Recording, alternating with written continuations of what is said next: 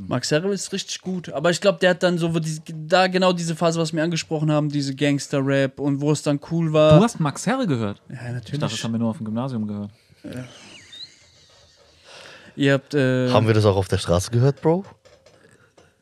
nicht auf der Straße direkt, aber wenn man dann allein in seinem Zimmer war, hat man schon.